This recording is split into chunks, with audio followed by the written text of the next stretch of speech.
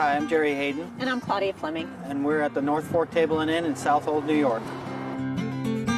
I was not one of those children who stood next to my grandmother or my mother and cooked. I actually was an aspiring dancer at one point, and so cooking for me was really not in the formula, you know. I mean, I tried to stay away from food as much as possible.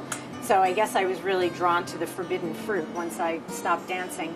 But I always worked in restaurants and was very drawn to the theatricality of it, the fast pace, the technique, and all those things that I found as a dancer were present in the restaurant business.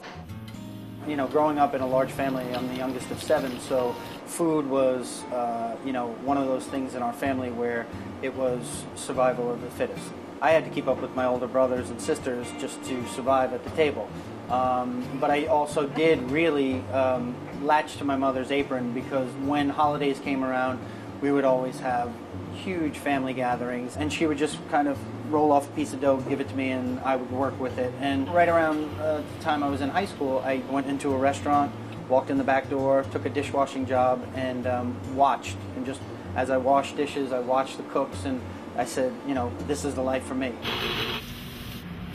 Gerry and I met in 1990 at Tribeca Grill. I was hired as the pastry chef and the sous chef, the second in command.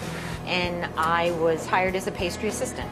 I can't imagine working without him at this point. I do have one particular duty, and the duty is all the savory food. Claudia's got the, all the sweet food, and it just so happens this kitchen was uh, divided by this wall, and so in essence it works out perfectly. There's a wall, and that's what separates us, and that's why it works so well. No, I'm just kidding. I have my side of the kitchen and he has his side of the kitchen, and never the two shall cross. It's challenging, but it's really, really rewarding. So, this is our dining room. We don't get to be out here very often. No, we never see the dining room very much, but uh, this is a dining room where we serve probably in the summertime about uh, 800 to 1,000 meals a week. We have four rooms above the restaurant, and um, the rooms came with the place, and we thought it was going to be easy at first, but uh, it's like It an entirely another job. Yes. Yeah. But I enjoy it. I like I like the additional challenge. Um, you know, it's fun.